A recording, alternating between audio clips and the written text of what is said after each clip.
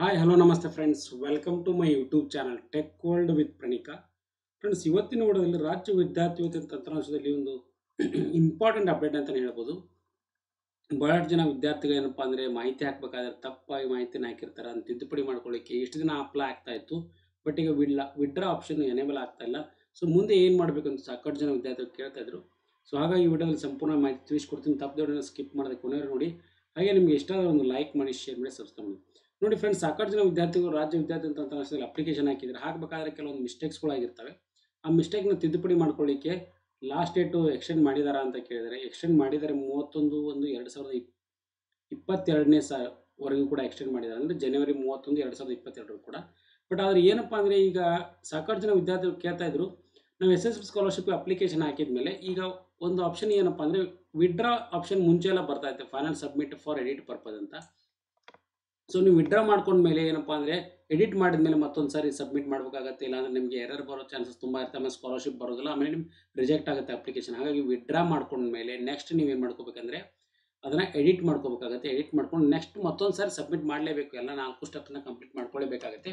ಸಾಕಷ್ಟು ಜನ ವಿದ್ಯಾರ್ಥಿಗಳು ತಪ್ಪು ಮಾಡ್ತಾರೆ ಇಲ್ಲಿ. ಸೊ ಹಾಗಾಗಿ ಅದೊಂದು ಇಂಪಾರ್ಟೆಂಟ್ ಪಾಯಿಂಟ್ ನಾನು ತಿಳಿಸ್ಕೊಡ್ತಾ ಇದ್ದೀನಿ ಮತ್ತು ಅದ್ರ ಜೊತೆಗೆ ಇನ್ನೊಂದು ಏನಪ್ಪ ಅಂದ್ರೆ, ಸಾಕಷ್ಟು ಜನ ವಿದ್ಯಾರ್ಥಿ ಕೇಳ್ತಾ ಇದ್ರು ವಿಡ್ರಾ ಆಪ್ಷನ್ ನಾವು ಮಾಡ್ಕೊಂಡಾಗ ನಮಗೊಂದು ಎರರ್ ಬರ್ತದೆ. ಏನು ಎರರ್ ಬರ್ತದೆ ಅಂದರೆ cannot withdraw last date for submission is over ಅಂತ ಬರ್ತಾ ಇದೆ. ಹಾಗಾದರೆ ಇದಕ್ಕೆ ಏನು ಮಾಡಬೇಕು ಸೊಲ್ಯೂಷನ್ ಅಂತ ಕೇಳ್ತಾರೆ ನೋಡಿ ಫ್ರೆಂಡ್ಸ್ ಇದಕ್ಕೆ ಏನಿಲ್ಲ ನೀವು ಜಸ್ಟ್ ವೇಟ್ ಮಾಡಿ ಇನ್ನೊಂದು ಮೂರಿಂದ ನಾಲ್ಕು ದಿನದಲ್ಲಿ ಏನಪ್ಪ ಅಂದರೆ ಇದನ್ನು ಎನೇಬಲ್ ಮಾಡ್ತಾರೆ. ಮತ್ತೊಂದು ಸಾರಿ ರಿವೋಕ್ ಮಾಡ್ತಾರೆ. ಸೊ ಹಾಗಾಗಿ ವಿದ್ಯಾರ್ಥಿಗಳು ಮತ್ತೆ ನೀವೇನಾದರೂ ಮಾಹಿತಿ ಇತ್ತಪ್ಪ ಅಂದ್ರೆ ಅದನ್ನು ಎನೇಬಲ್ ಮಾಡಿ ಎಡಿಟ್ ಕೂಡ ಮಾಡ್ಬೋದು ವಿಡ್ರಾ ಮಾಡಿಕೊಂಡು. ಸೊ ಅದು ಆಪ್ಷನ್ ಕೂಡ ಎನೇಬಲ್ ಮಾಡ್ತಾರೆ. ಯಾಕೆ ಎನೇಬಲ್ ಮಾಡ್ತಾರೆ ಅಂತ ಹೇಳ್ತೀನಿ. ನೋಡಿ ಕೇಳಿ ಫ್ರೆಂಡ್ಸ್ ಯಾಕೆಂದರೆ ಲಾಸ್ಟ್ ಡೇಟ್ ಫಾರ್ ಅಪ್ಲಿಕೇಶನ್ ಸಬ್ಮಿಷನ್ನ ಏನು ಮಾಡಿದ್ದಾರೆ? ಎಕ್ಸ್ಟೆಂಡ್ ಮಾಡಿದ್ದಾರೆ. ಹಿಂದುಳಿದವರಿಗೆ ಕಲ್ಯಾಣ ಇಲಾಖೆಯಲ್ಲಿ ಆಲ್ರೆಡಿ ಎಸ್ ಎಸ್ ಬಿ ಮುಖಾಂತರ ಅಪ್ಲಿಕೇಶನ್ ಹಾಕೊಳ್ಳಿಕ್ಕೆ ಲಾಸ್ಟ್ ಡೇಟ್ನ ಎರಡು ಸಾವಿರದ ಇಪ್ಪತ್ತೊಂದು, ಇಪ್ಪತ್ತೆರಡನೇ ಸಾಲಿನಿಂದ ಅಂದರೆ ಮೂವತ್ತೊಂದೊಂದು ಎರಡು ಸಾವಿರದ ಇಪ್ಪತ್ತರ ಎರಡೂವರೆಗೂ ಕೂಡ ಎಕ್ಸ್ಟೆಂಡ್ ಮಾಡಿದ್ದಾರೆ ಫ್ರೆಂಡ್ಸ್ ಅದರ ಅಫಿಷಿಯಲ್ ಆರ್ಡರ್ ಕೂಡ ಇದೆ ನೋಡಿ ನಿಮಗೆ. ಆಲ್ರೆಡಿ ನಾವು ವಿಡಿಯೋ ತಿಳಿಸ್ಕೊಟ್ಟಿದ್ವಿ.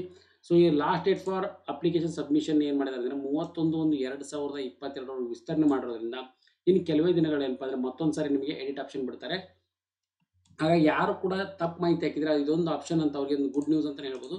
ಸೊ ನಿಮ್ಗೆ ಎಡಿಟ್ ಮಾಡ್ಕೊಳ್ಳಿಕ್ಕೆ ಏನೇನು ಕೆಲವೇ ದಿನಗಳಲ್ಲಿ ಎನೇಬಲ್ ಮಾಡಿಕೊಡ್ತಾರೆ. ಹಾಗಾಗಿ ವಿಡ್ರಾ ಮಾಡ್ಕೊಳ್ಳಿ ಯಾಕೆ ಅದು ಈಗ ಡಿಸೇಬಲ್ ಆಗಿದೆ ಅಂದರೆ ಮುಂಚೆ ಅಂದರೆ ಮೂವತ್ತೊಂದು, ಹನ್ನೆರಡು, ಎರಡು ಸಾವಿರದ ಇಪ್ಪತ್ತೊಂದರವರೆಗೆ ಮಾತ್ರ ಅಪ್ಲಿಕೇಶನ್ ಸಬ್ಮಿಷನ್ಗೆ ಎಕ್ಸ್ಟೆನ್ಷನ್ ಮಾಡಿದ್ರು. ಬಟ್ ಅದನ್ನ ಏನಂದರೆ ಎಕ್ಸ್ಟೆಂಡ್ ಮಾಡಿದ್ದಿಲ್ಲ, ಮೂವತ್ತೊಂದೊಂದು, ಎರಡು ಸಾವಿರದ ಇಪ್ಪತ್ತೆರಡರು ಕೂಡ.